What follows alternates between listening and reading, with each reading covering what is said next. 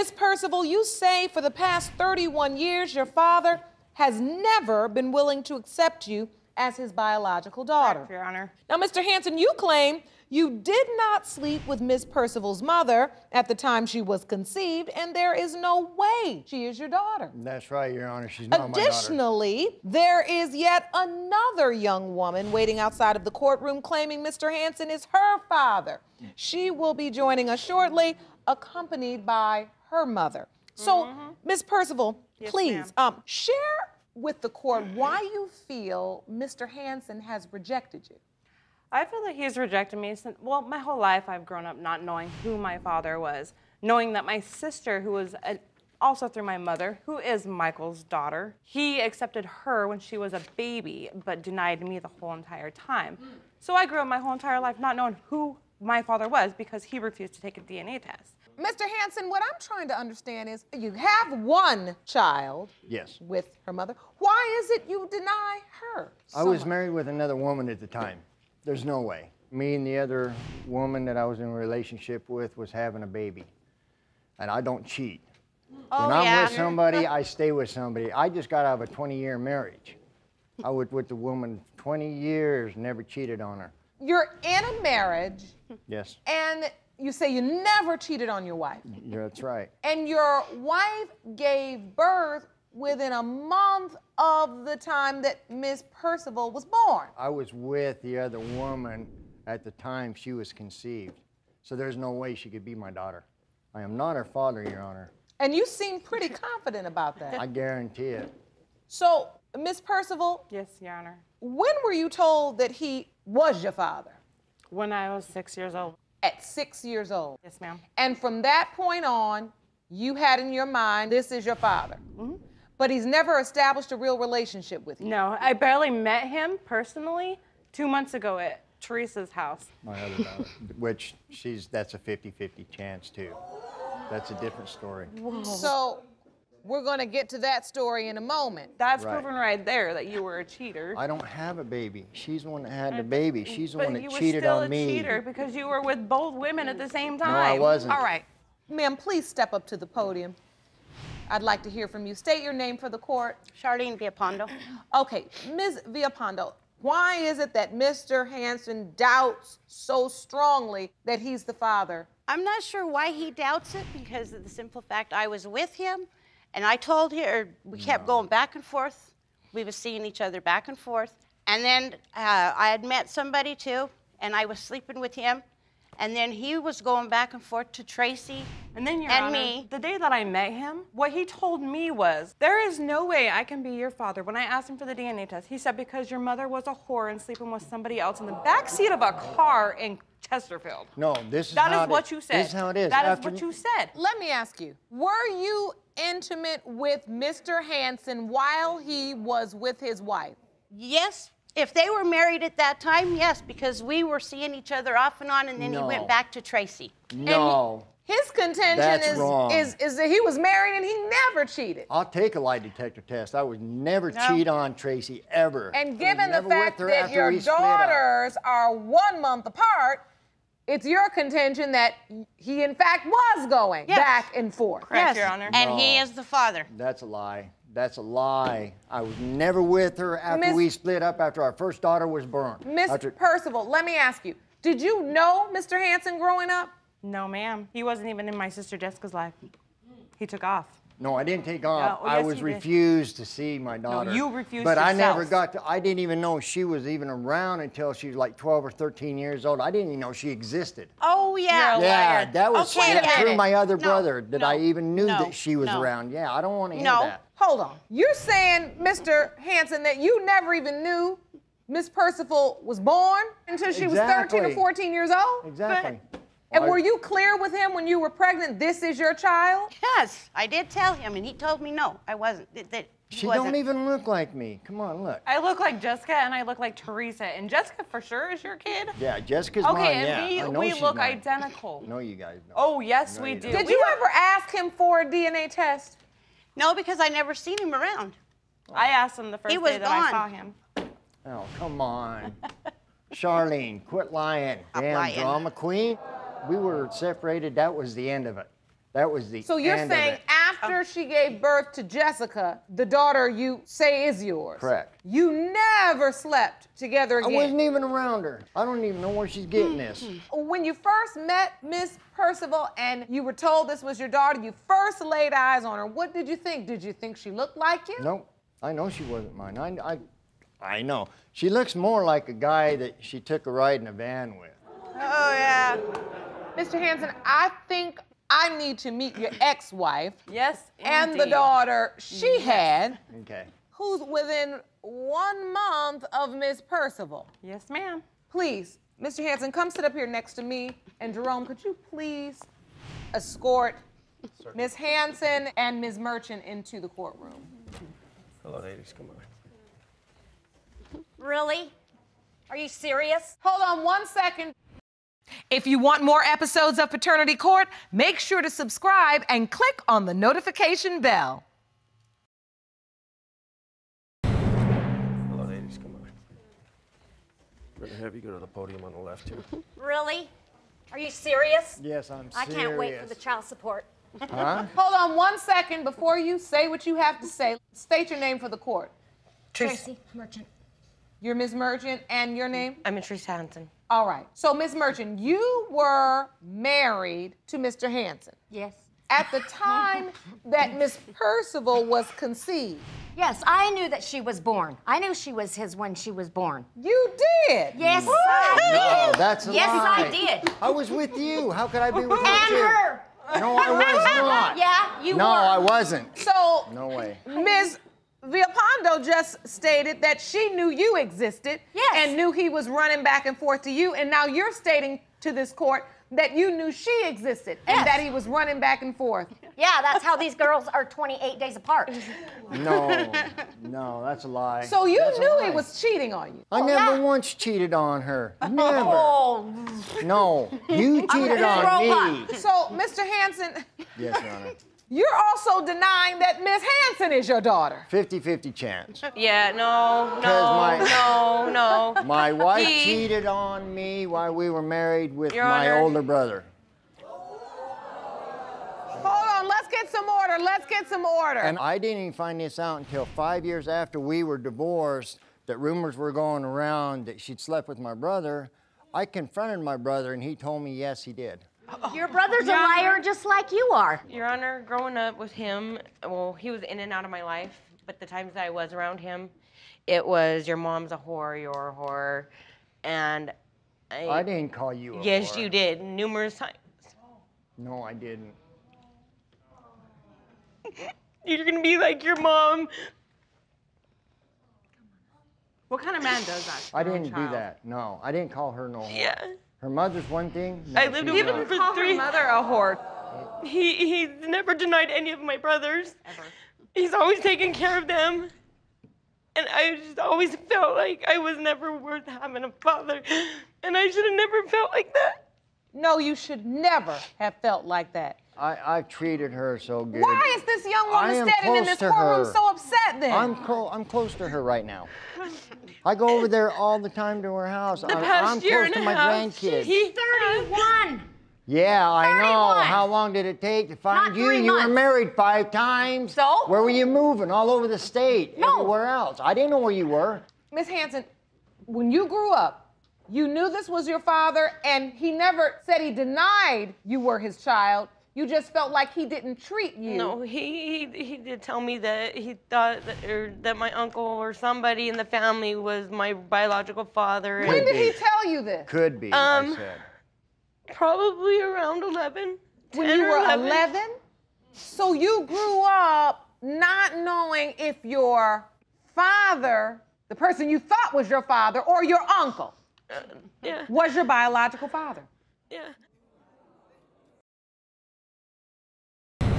So you grew up not knowing if your father, the person you thought was your father, or your uncle Yeah. was your biological father. I was brought up with him telling me bad stuff about my mom, and I never thought that was fair. But my mom would never say anything bad about my dad. She just never really said anything except for that he was my father. And I apologize for saying the bad things about you. That was wrong of me. I never should have done it around the children. Still do it.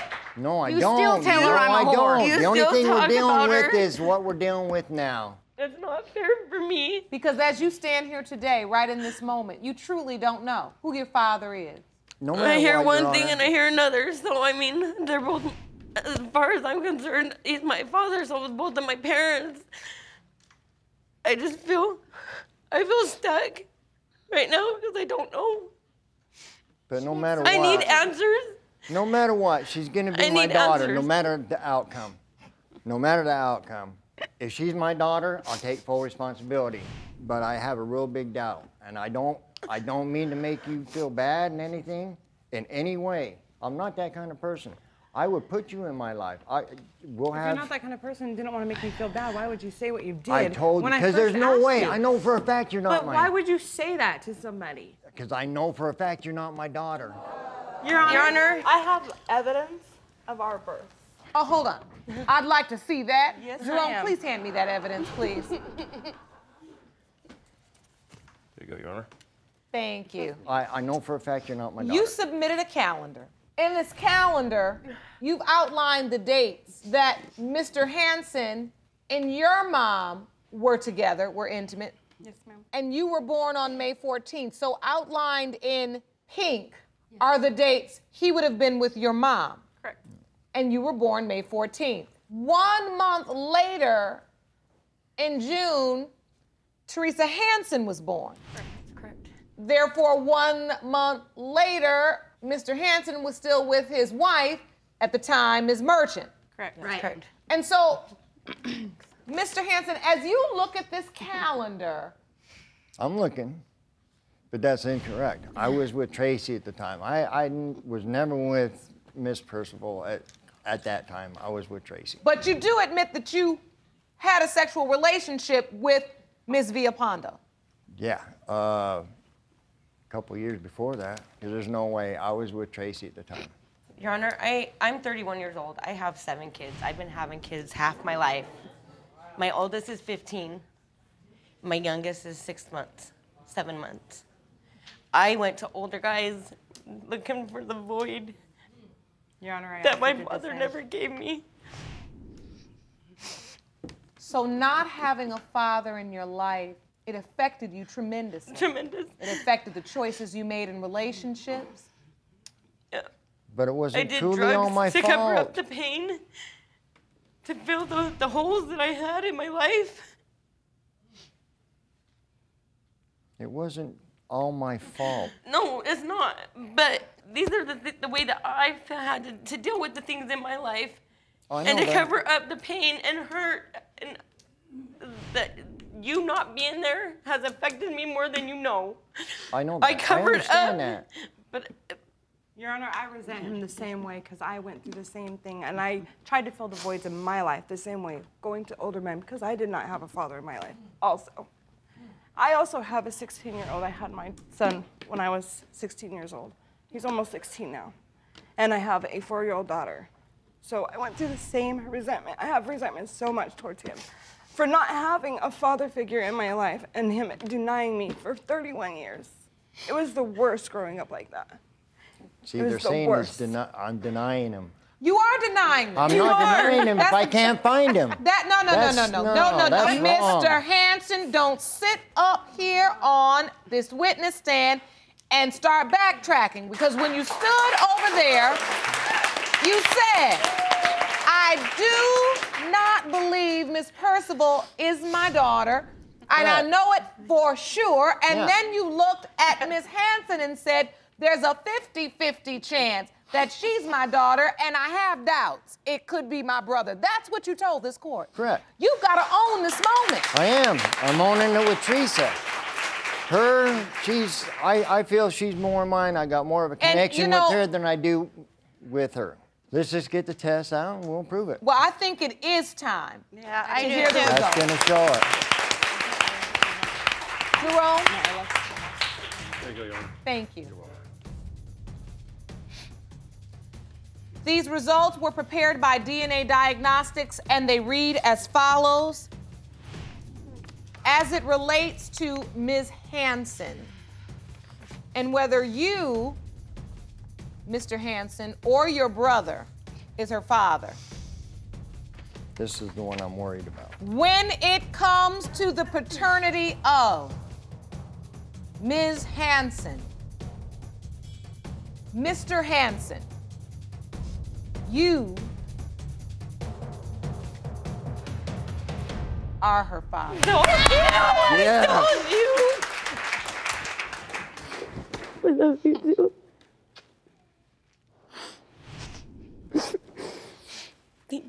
Honor. You're most certainly welcome.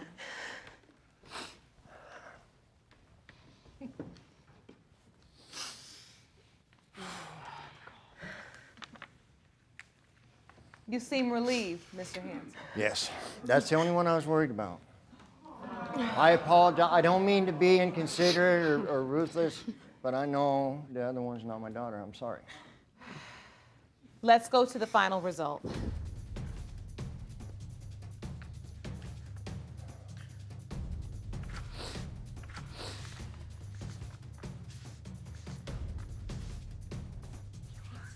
Mr. Hansen, Yes.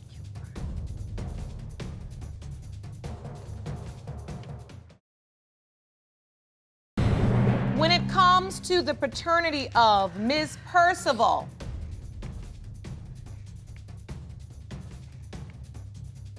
Mr. Hansen, Yes.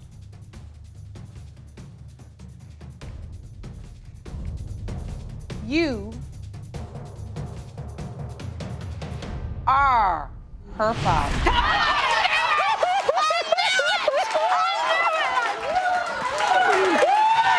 There's no way.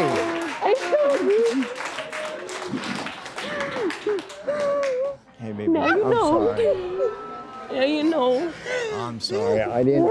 It didn't, didn't seem like it added up.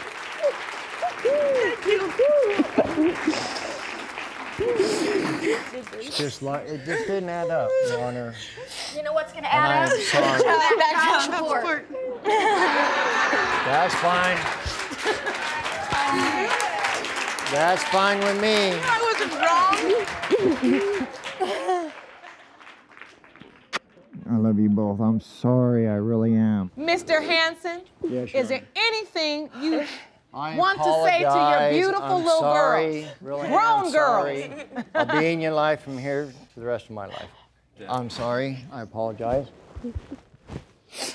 No, I'm sorry. I'll be in her life. With that said, court is adjourned. Take care, everyone. Thank you. Ms. Diaz, Yes, Your Honor. you have petitioned the court for the results of a DNA test, but you claim your adoptive mother, Ms. Mendoza, is trying to stop you from discovering the truth.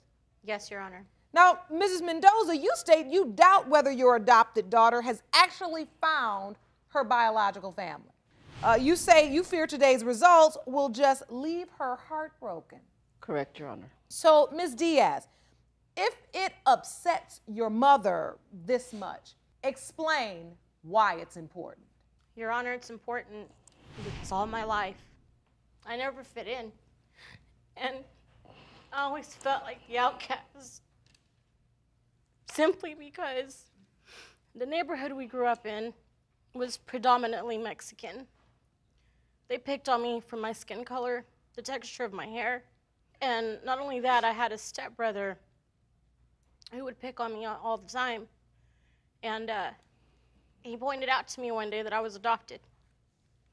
So I went and I asked my mom, Mrs. Mendoza, if it was true. She said that it was. I mean, it was a big blow to take, and I always had answers, always felt incomplete. So, you adopted her when she was young, Correct. Yes, Your Honor. and in your mind, you saved her life. Yes, ma'am. Yes. Please explain. When I was 20 years old, I was told that I was not ever going to have children. The opportunity arose for me to be able to raise a child. One of my ex husband's best friends came and told us that he had gotten his mistress uh, pregnant. And she didn't want, he didn't want anything to do with the child, and neither did the, her biological mother.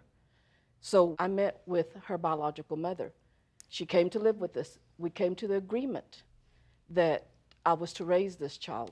I was going to uh, love her unconditional. She was my, going to be my child. And it's just, it's heartbreaking, Your Honor, because I've done everything that I have for Leah Selda.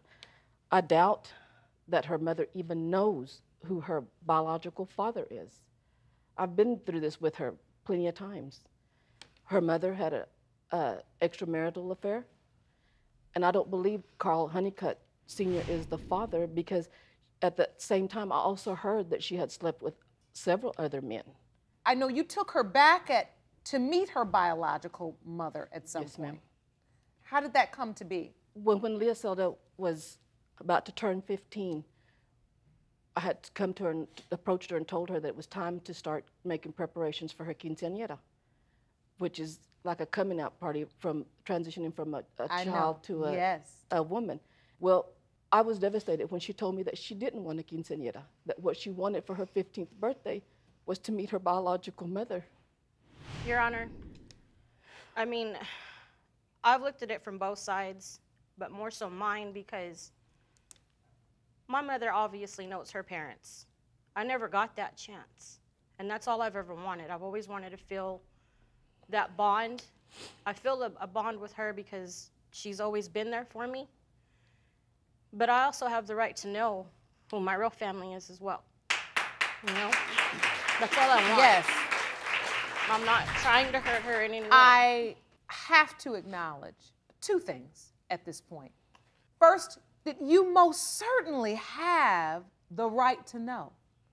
And then I must acknowledge that Ms. Mendoza, you, your husband, your family, you have been such a beautiful gift to Ms. Diaz.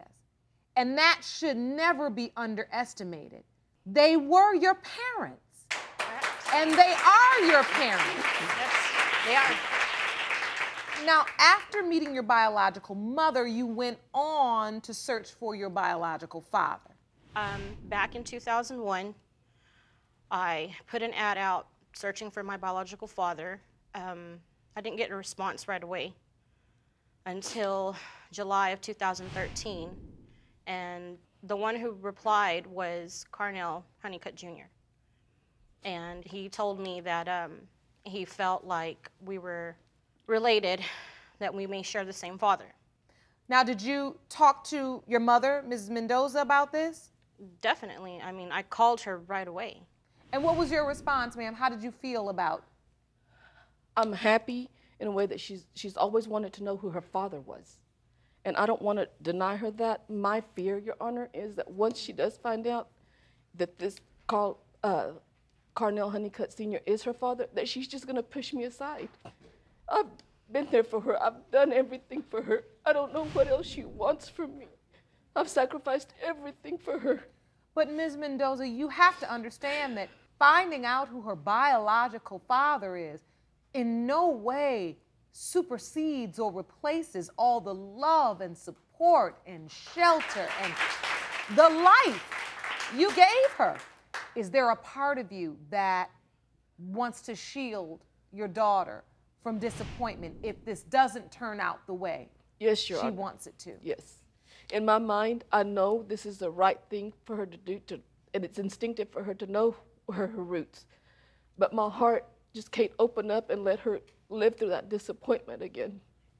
I appreciate everything that you've ever done for me. Don't get that wrong. It's just, it's hard to explain to strangers that you're my mom. And with them going along and saying, oh, well, you don't look like her, or you don't look like your brothers or your sisters, it's hard. But Lisa, the blood doesn't make you family. I know it doesn't, but I still have the right to know.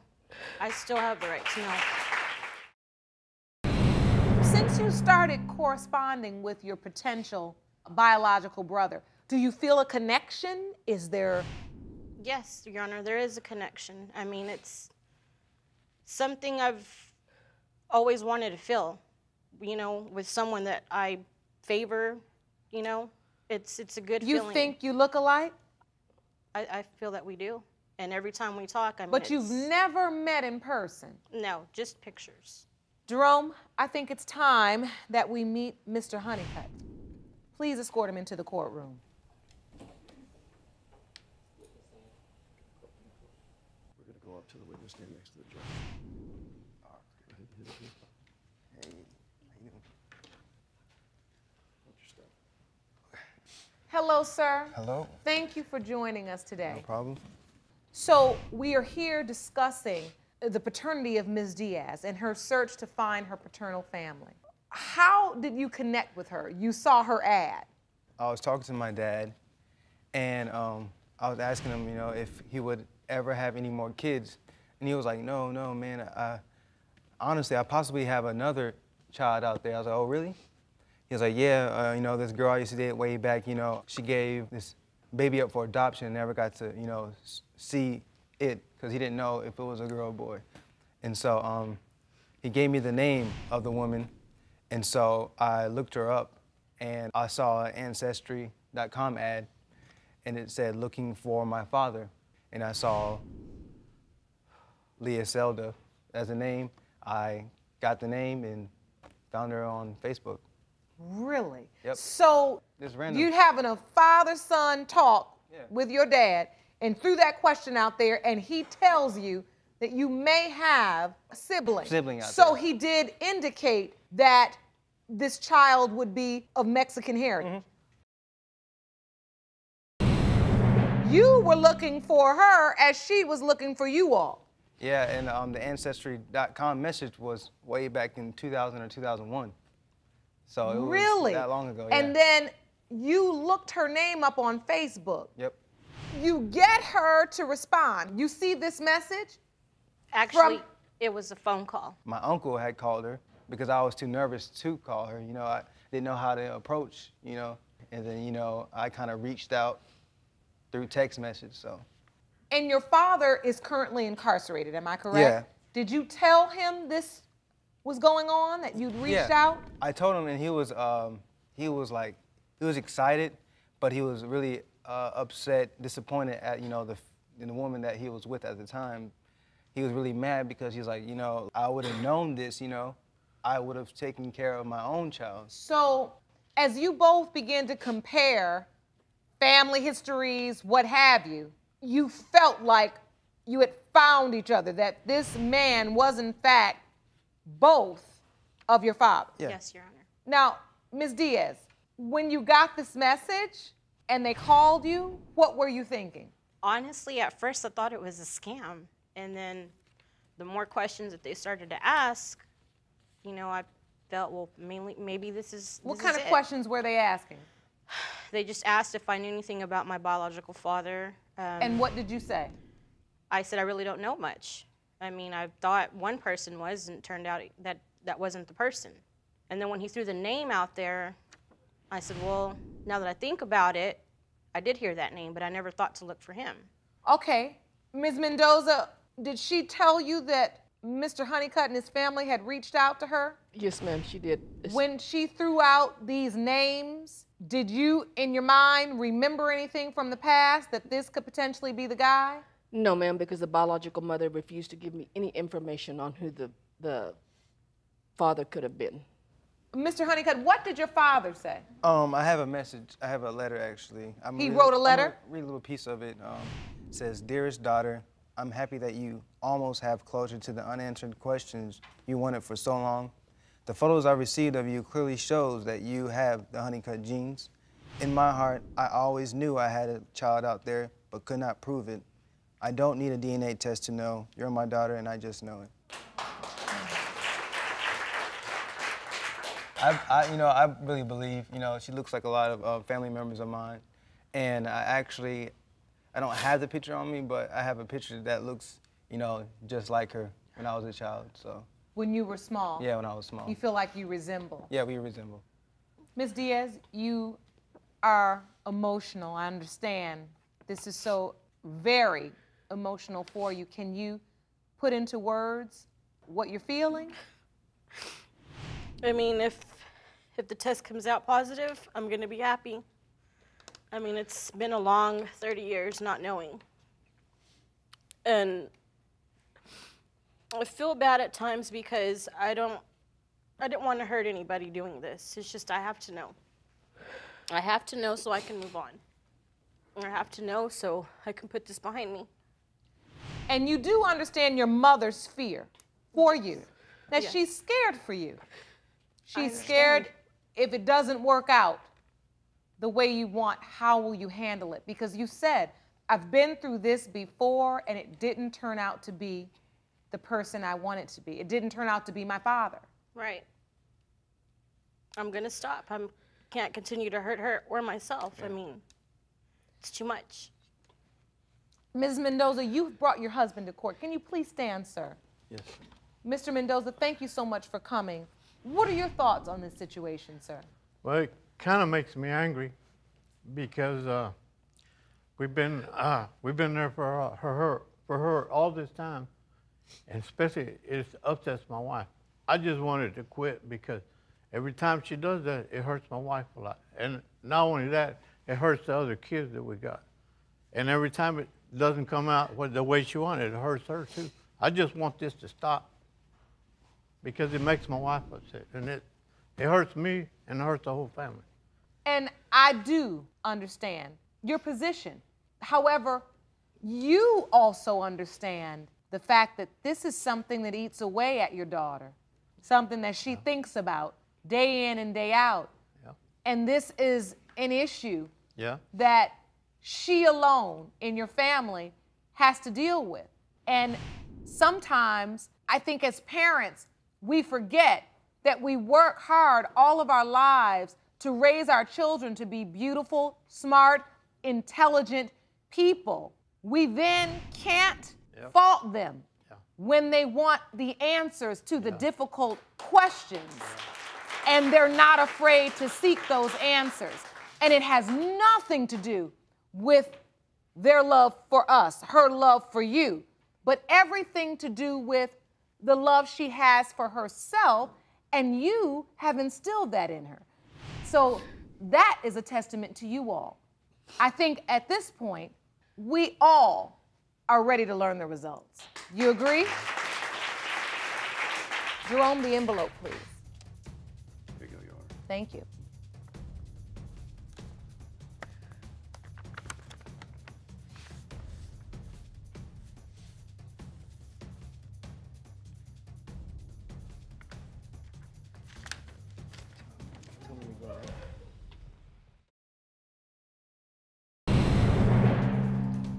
On the DNA results to establish whether Leocelda Diaz and Carnell Honeycutt are related as siblings.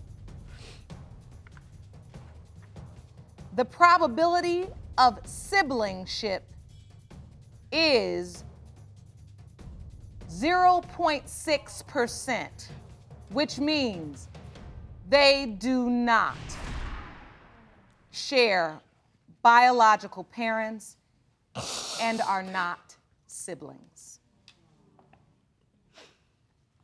This is exactly what I was scared of, Your Honor. Been through this with her many times. She just needs to stop. She's with the family that loves her. Will always be there for her. I don't know what else to do.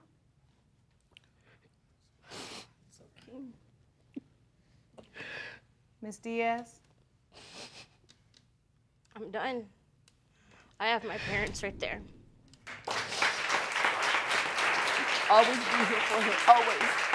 I've been there from day one. I will be there until I die. She's my daughter. She's my firstborn. Blood doesn't make you family. Well, as I said before, you raised her to be a beautiful, intelligent, strong young woman. And I personally commend you, Ms. Diaz, for being strong enough to continue this search despite the disappointment. And if you ever are in need of this courtroom, again, we will be here for you. you. And until that time, I hope you do love and appreciate these two beautiful people who love you so very much. I wish you the best of luck. Court is adjourned.